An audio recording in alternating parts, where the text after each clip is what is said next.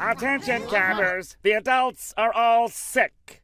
But in their infinite wisdom, they put me in charge. So have no fear. I will run a tight ship. Oh, please. Krabs was delusional, or he wouldn't have picked a nerd like you to be in charge. Bro, only a loser wouldn't take this opportunity to full on party! One minute later.